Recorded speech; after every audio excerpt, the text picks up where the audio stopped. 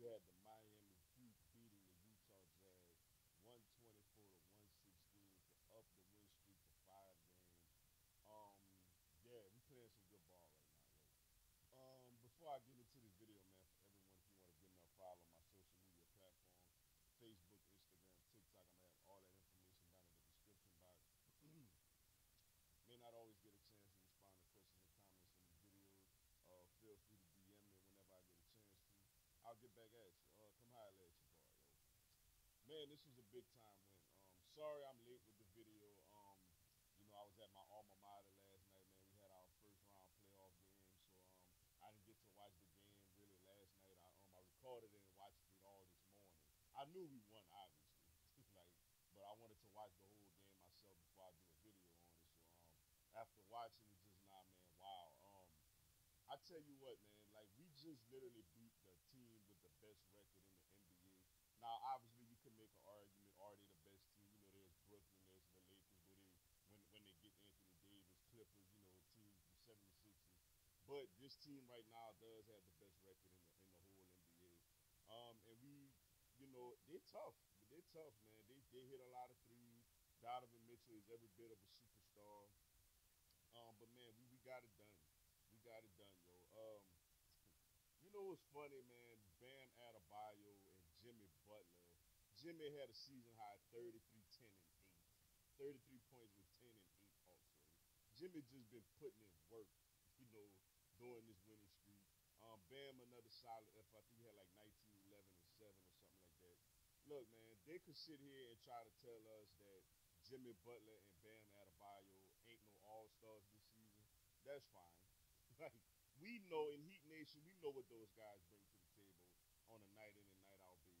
Now I know Jimmy, they probably held the, the you know the little couple of weeks or whatever he was out, you know, against him.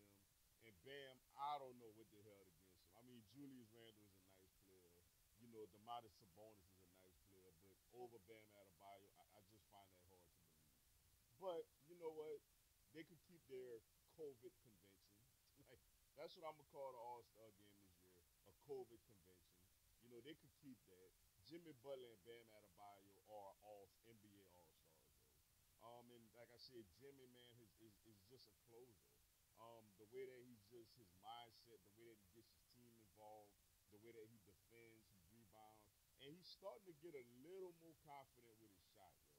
Um, and that's a dangerous thing. You know, in the bubble, he was knocking them things down from mid range consistently. So, I mean, just a good win, man. Wasn't an easy game. Like I said, that's a really good basketball team over there. But to get that win over that team, um, you know, it speaks volumes. And we did it without Tyler Herro also. Um, Dragic another big performance. You know, had like 20 something points. Um, Nunn been playing very, very well lately.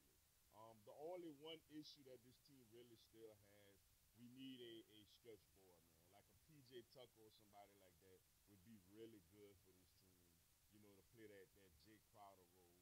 Kelly Olynyk not doing it for me. like starting in that position. When he's not hitting his threes, you know he's a liability defensively.